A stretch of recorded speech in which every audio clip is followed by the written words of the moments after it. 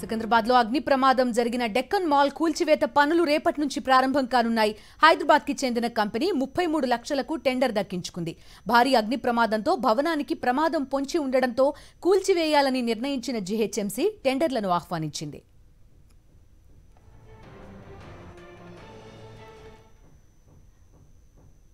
మా కరెస్పాండెంట్ నరేష్ ప్రస్తుతం పూర్తి డీటెయిల్స్ అందిస్తారు. నరేష్ చెప్పండి టెండర్లు ఆహ్వానించడం ఓకే అవడం జరిగిపోయాయి.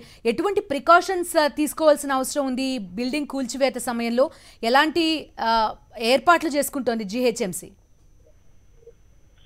బిందు ఈ డక్కన్ మాల్కి సంబంధించి అగ్ని ప్రమాదం ఘటన చోటు చేసుకున్న తర్వాత ఇప్పటికి ఈ రోజుకి ఏడు రోజులు గడిచింది ఇంకా రెండు మృతదేహాలు లభ్యం కావాల్సింది. కానీ వైపు ఆ బిల్డింగ్ వీక్నెస్ బట్టి వెంటనే కూల్చివేయాలని నీట్ అధికారులు ఇచ్చిన ఆదేశాల ప్రకారం అంటే నివేదిక ఇచ్చిన ప్రకారం నివేదికలో పొందుపరిచిన అంశాలను జేహెచ్ఎంసీ అధికారులు పాటించి దానికి సంబంధించి ఈ బిడ్ను వేయడం జరిగింది. దీనికి సంబంధించి కూడా డెక్కన్ మాల్ కూల్చివేతకు రేపటి నుంచి పనులు ప్రారంభించినట్లుగా తెలియజేశారు. మొత్తం దీనికి సంబంధించి టెండర్కి హైదరాబాద్ చెందిన ఎస్కే మల్లు కంపెనీ ఈ టెండర్ను తీసుకోవడం జరిగింది. మొత్తం ముప్పై మూడు లక్షలు కూడా టెండర్ తగ్గిస్తున్నట్టుగా తెలుస్తుంది. ఎస్కే మల్లు కంపెనీ ఈ డెక్కన్ సంబంధించి కూల్చివేతకు యంత్రాలను ఉపయోగించి పూల్చిపెట్టే ప్రారంభిస్తుంది. ప్రారంభించింది ఎందుకంటే సాధారణంగా అది ఎల్ షేప్లో ఉన్న బిల్డింగ్. మొత్తం పద్దెనిమిది వందల తొంభైకి సంబంధించిన ఎటువంటి రూల్స్ ఉన్నాయో మొత్తం అంతా కూడా పాటిస్తుంది.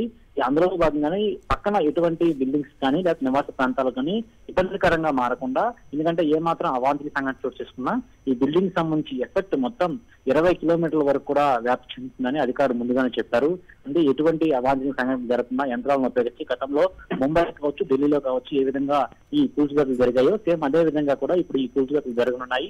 మరోవైపు ఈ కూల్చివేత జరిగే సందర్భంలో చుట్టుపక్కల ఇప్పటికే అరవై నుంచి డెబ్బై కుటుంబాలను సేఫ్ ప్లేస్ తరలించి ఆ కూల్చివేతలు ప్రారంభిస్తారు. మనం గతంలో కొంచెం చూసాం ఢిల్లీ నోయిడాలో ఏ విధంగా బిల్డింగ్ కూల్చివేత పాల్పడ్డారో ఎటువంటి ఇబ్బంది లేకుండా కేవలం చిన్న స్థలంలోనే అదేవిధంగా కుప్పకూలే విధంగా చేస్తారా? లేకపోతే ఏ ఫ్లోర్ విభాగానికి ఒక్కొక్క ఫ్లోర్ని కట్ చేస్తూ తీసుకువెళ్తారా అనేది ఇంకా క్లారిటీ రావాలి. ఎందుకంటే ఇక్కడ పిల్లర్ల వరకు మాత్రం స్ట్రాంగ్గా ఉన్నాయి. కాకపోతే స్లాబ్లు మాత్రం పూర్తి స్థాయిలో బిగ్గా ఉన్నాయని నీటి అధికారులు నివేదికలో పేర్కొన్నారు. దీనికి సంబంధించి జీటీఎస్ అధికారులు రెవెన్యూ సిబ్బంది మరోవైపు పోలీసు అధికారులు కూడా సమన్వయం పాటిస్తూ కూడా దీనికి సంబంధించి ఒక క్లారిటీ వచ్చే అవకాశం అయితే కనిపిస్తుంది. ఓకే నరేష్. Thank you